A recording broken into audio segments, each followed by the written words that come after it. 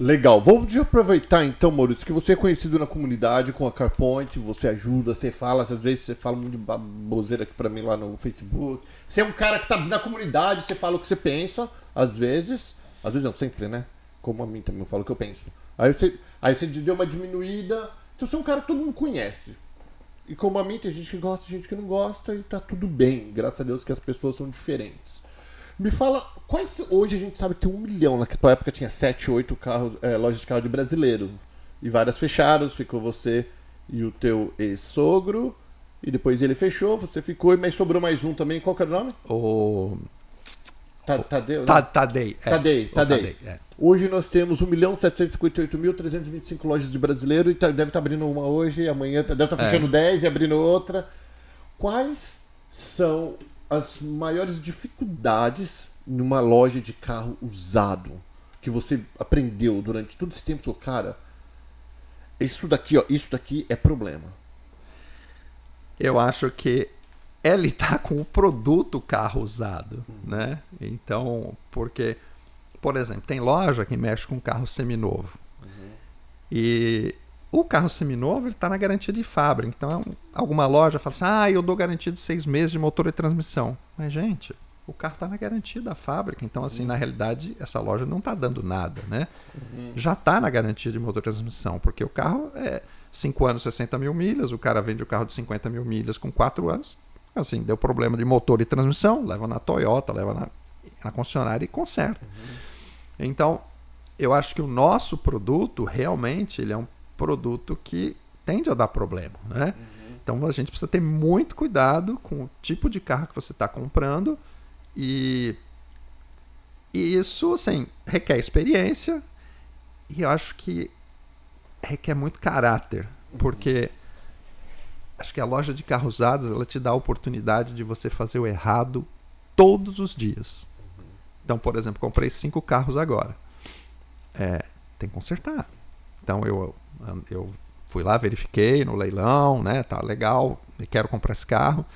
Fiz lá as minhas anotações, que eu vi que já tinha que fazer. Aí quando você sai com o carro, fala, pô, tem isso, tem aquilo, tem isso, então precisa consertar. Uhum. E você tem a opção de maquiar ou você tem a opção de consertar. Se você consertar, você vai gastar, seu lucro vai diminuir. Se você maquiar, o seu lucro vai ser maior. Uhum. Mas é uma questão assim, aonde eu quero chegar? Eu quero vender uma vez, eu quero vender uma vez e ficar mal falado, ou eu quero vender sempre, que ficar bem falado, ser reconhecido, respeitado e durar muito, mesmo que meu lucro tenha que ser menor.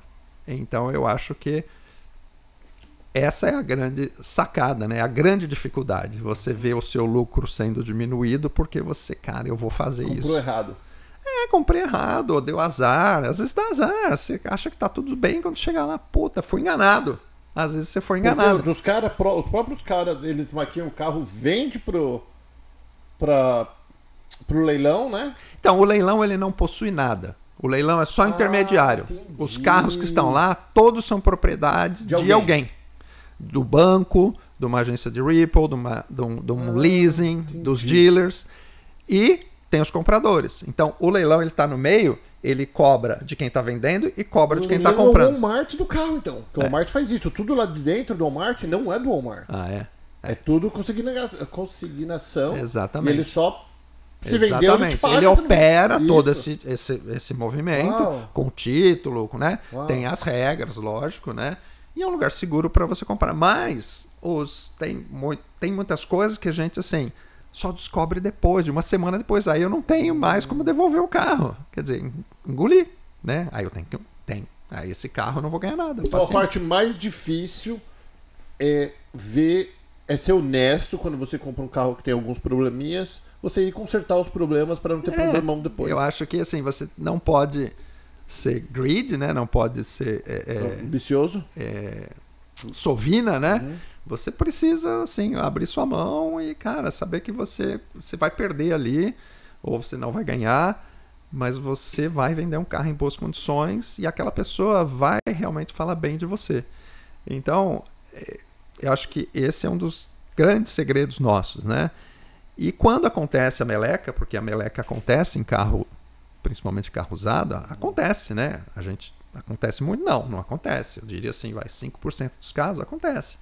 A pessoa saiu com o carro, dali dois, três dias, pum, acende a porra da luzinha, né? Do check engine. Né? Falando, traz aqui que a gente vai ver o que é, né? Uhum. Vai lá, pá, pá, pum, resolve. Oh, então, é, às vezes, pô, o ar acabou, parou o ar. Porra, cinco dias, parou o ar. Que cara que eu tenho de falar pro cara, ah, não, esse é problema seu? Eu não tenho. E pior que teve gente, conheço vários dele que tem, fala assim, ó. Fala, mas é, porque assim, tá no ele, direito. Ele, é isso que eu ia falar, não tá é obrigação direito. da loja. Isso daí vai da pessoa. É, tá no direito, porque se assina lá, é ZIS ou assina determinada garantia e não cobra aquele específico sistema.